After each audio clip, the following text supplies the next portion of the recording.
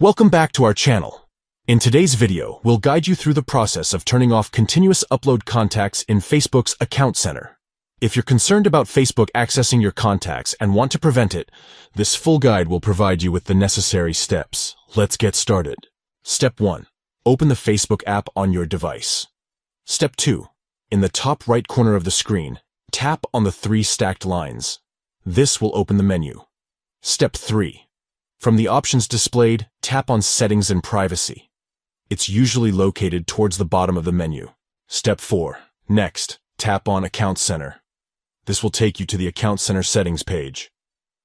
Step 5. On the Account Center page, tap on Your Information and Permissions. It's an important section where you can manage your data. Step 6. Now, locate and tap on Upload Contacts. This setting controls how Facebook interacts with your contacts. Step 7. Select the account and the platform that the account relies on. This step ensures that you're managing the correct account and its associated contacts. Step 8. Tap on the option that appears and make sure to choose the option that prevents Facebook from accessing your contacts. This will ensure your contacts remain private.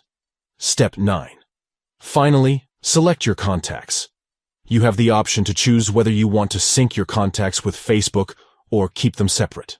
By following these steps, you can turn off continuous upload contacts in Facebook's Account Center and have control over your contact information. If you found this tutorial helpful, we kindly request that you give this video a thumbs up and consider subscribing to our channel for more informative content. Don't forget to hit the notification bell to stay updated with our latest videos.